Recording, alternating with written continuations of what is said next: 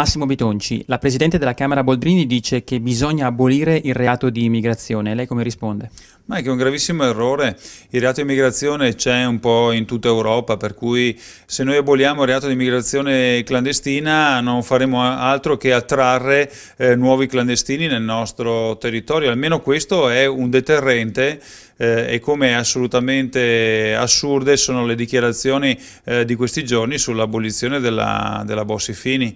Cioè la Bossi-Fini non c'entra assolutamente nulla eh, con eh, quello che sta succedendo sulle, sulle coste eh, di Lampedusa e i morti che ci sono purtroppo stati in questi giorni eh, che non saranno nei primi né negli ultimi purtroppo. la Bossi-Fini è una legge seria, è una legge che regola regola l'immigrazione tenendo conto che quando un, uno straniero viene nel nostro territorio deve avere un, un posto di lavoro, eh, l'abolizione non serve a fare nient'altro che richiamare nuovi clandestini eh, in Italia e nel nostro paese.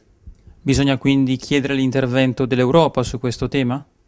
L'intervento d'Europa è un intervento fondamentale. Eh, fino adesso i paesi europei che non si affacciano sul Mediterraneo non hanno subito eh, questa forte migrazione eh, che c'è stata soprattutto negli ultimi anni. Eh, è una situazione che deve prendersi in carico l'intera Europa, non si può nascondere la testa sotto la sabbia solamente perché oh, i clandestini non arrivano dal mare del nord Europa ovviamente.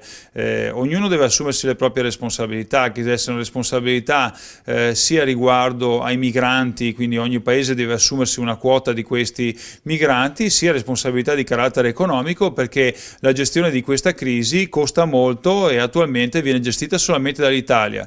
Per quanto riguarda il Frontex, eh, questo è eh, sempre stato una, un apporto eh, europeo insufficiente perché quei 40 milioni che sono stanziati non servono eh, assolutamente a gestire gestire questo momento di grave difficoltà.